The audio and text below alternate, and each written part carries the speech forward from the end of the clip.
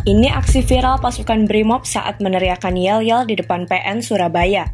Mereka hadir untuk melakukan pengamanan di sidang tragedi Kanjuruhan.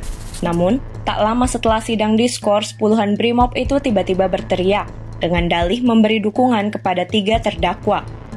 Kasat Samapta Polres Malang AKP Bambang Sidik Ahmadi, Dangki 3 BRIMOB Polda Jatim AKP Hans Darmawan, dan Kabak Ops Polres Malang Kompol Wahyu Setio Pranoto.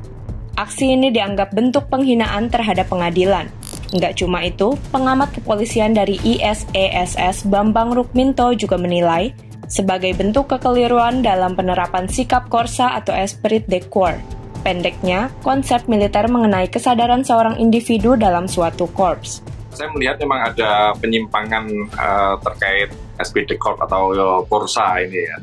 Uh, mereka memahami bahwa kelompok ini adalah yang paling penting gitu dibandingkan luar itu kepentingan-kepentingan kelompok ini sangat menonjol termasuk kepentingan anggota BRIMOB ini gitu. ketika ada kawannya yang didakwa apalagi ini salah satu komandannya kan eh, salah satu komandannya dalam kasus ke Kanyuran ini padahal seharusnya sebagai penegak hukum uh, dia harus melepas keberpihakan itu harus netral gitu. Kapolri Jenderal Listio Sigit Prabowo mengaku telah menegur Kapolda Jawa Timur Permintaan maaf dari polisi pun dinilai belum cukup.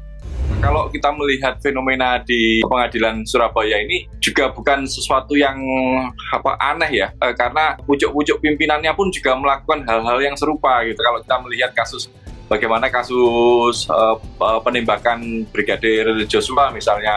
Begitu banyaknya orang yang terlibat dan uh, saling menutupi juga saling mendukung. Ya perlu uh, evaluasi ulang ya uh, terkait dengan kurikulum pendidikan terkait juga reindoktrinasi ya doktrin-doktrin yang bisa menanamkan semangat yang patriotis uh, apa kesederhanaan kemudian kebersamaan esprit de yang benar itu seperti apa